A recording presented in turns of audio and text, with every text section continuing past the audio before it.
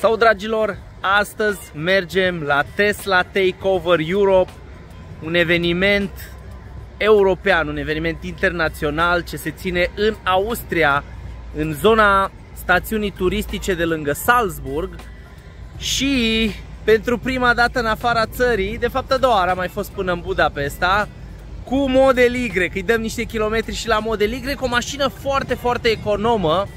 Am venit de la Oradea până la Ghior și am ajuns cu aproape 20%. Prin urmare, poți parcurge această distanță cu 80% din baterie. Zic eu că e o distanță foarte, foarte bună. Mi-aș fi dorit chiar să mă opresc mai repede din cum m-am simțit eu la picioare și cum, cum simțeam uh, distanța asta de condus, m-aș mai fi oprit odată pe drum.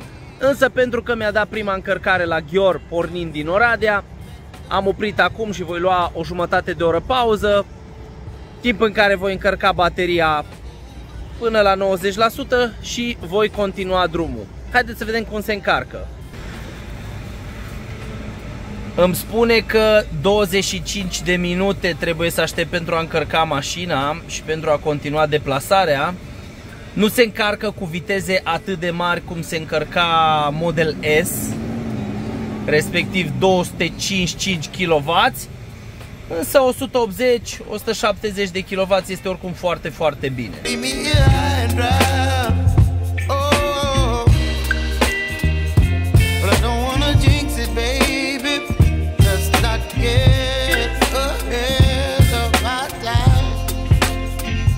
Ce avem aici, ceva diferit la acest încărcător, am mai văzut și în alte locuri din Europa, și în Elveția, și în Germania. Avem un Tesla Lounge, o zonă în care să stai, să-ți întinzi picioarele, să aștepți până ți se încarcă mașina. Mașina se va încărca în 15 minute, iar aici avem codul de acces care apare pe ecran 4578 4578 și putem intra în acest, test, în acest Tesla Lounge. O să fac câteva filmări și înăuntru să vedeți cum arată. Călătoria noastră a avut uh, peste 700 de kilometri, 730 de kilometri și au fost necesare două încărcări, una de 30 de minute și una de 20 de minute, deci 50 de minute în total pentru a parcurge 730 de kilometri. Așa arată lunge Tesla Lunge.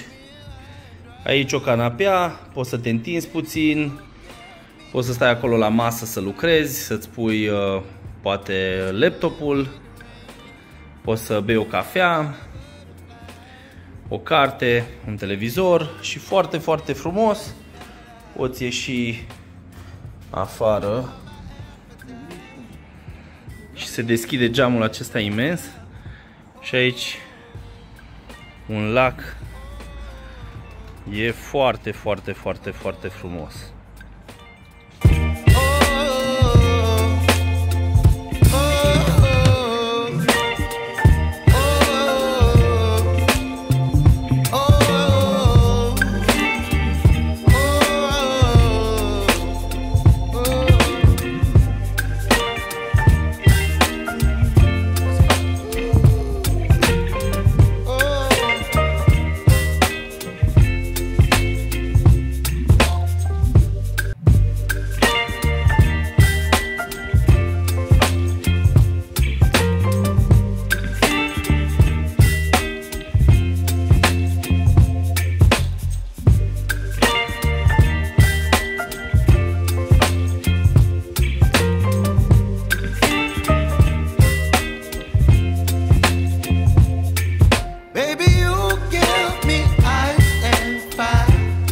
Așa arată casa lui Milka, foarte frumoasă Austria.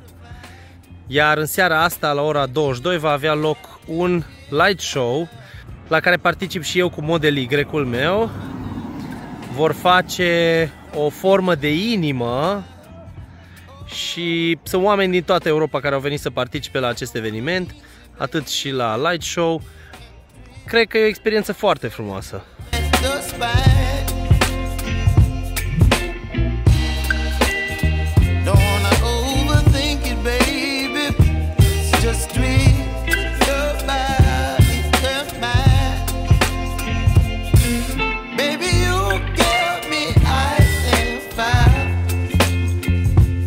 Aici este mașina cu care eu am venit și care se bucură să fie în centru inimii albe.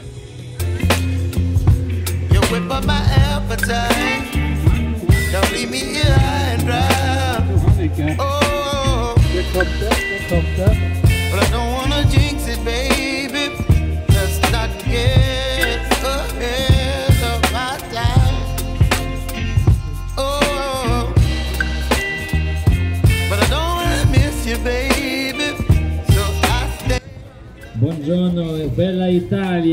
We present to you President from the Italian Tesla Owners Club, Luca De Boll. A warm welcome, please. Clap your hands together for this nice red roadster.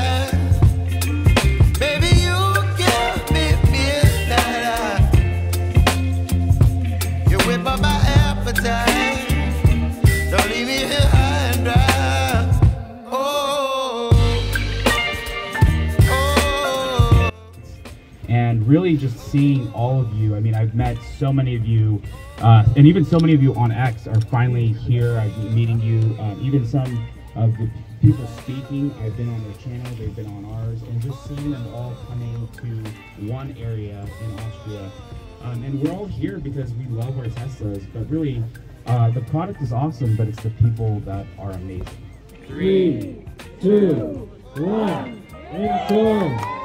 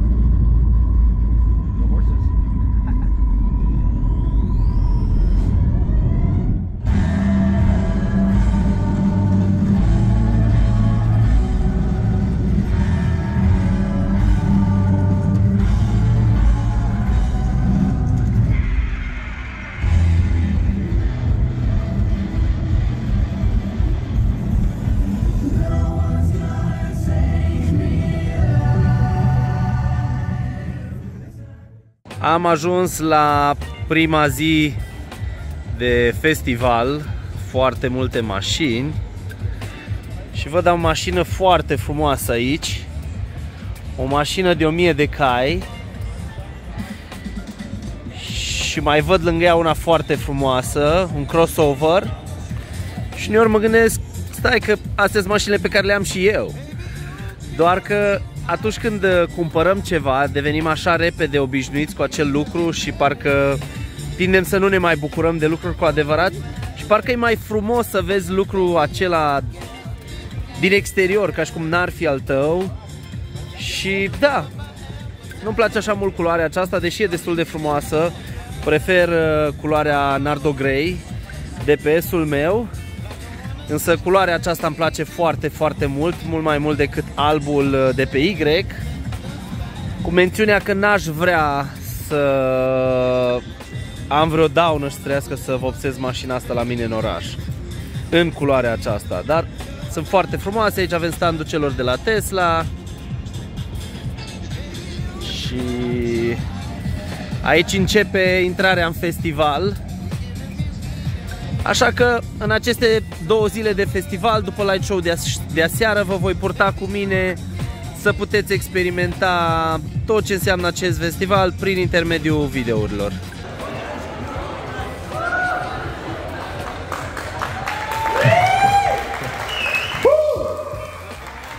und Bekannte zum ersten Tesla Takeover Europe hier in Salzburg, Austria.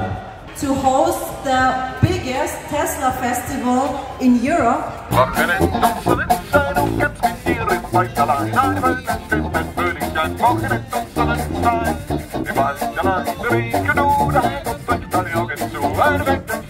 La încheierea primei zi vom avea și un party și e incredibil să te plimbi uh, prin această localitate și să vezi parcate în același loc peste tot la fiecare cazare câte 5, 6, 7 mașini Tesla. Gata și petrecerea din seara asta.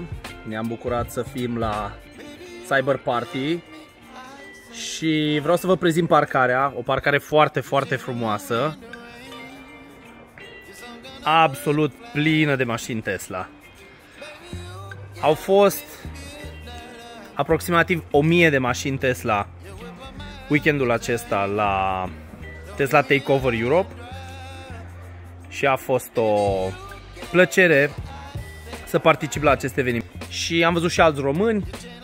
A fost un eveniment în care au venit oameni din toată Europa, uh, chiar din alte țări, Canada, America, personalități din zona online a mașinilor electrice și m-am bucurat să mă întâlnesc aici cu o grămadă de oameni cu care de-a lungul timpului m-am împrietenit prin internet, prin apeluri Zoom, însă nu ne-am întâlnit niciodată în viața reală și am putut să ne întâlnim acum. Am ajuns în ultima zi de festival. Ziua în care vom uh, vedea și Cybertruck-ul. Aici o zonă cu mașini uh, din acestea modificate din punct de vedere aspectului.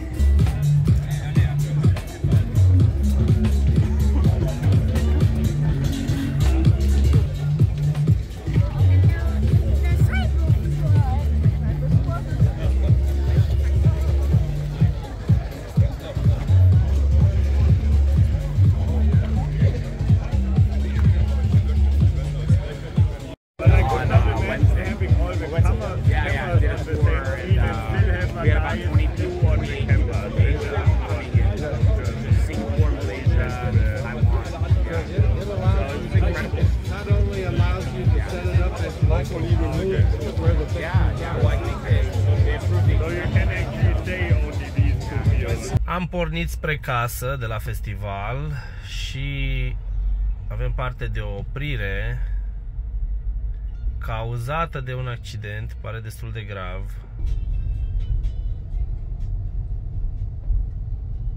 Am pus mașina la încărcat și iarăși avem o zonă din aceasta de lunge pentru posesorii de mașini Tesla și e foarte frumoasă zona de lunge. Haideți să intrăm. Așa arată zona de lunge.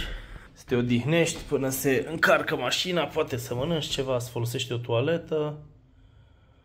Ai aer condiționat. E foarte frumos. Face așteptarea una foarte ușoară, cele 20 de minute de așteptare pentru încărcare trec foarte rapid când uh, ai acces la un spațiu atât de frumos, cu o toaletă curată, cu aer condiționat.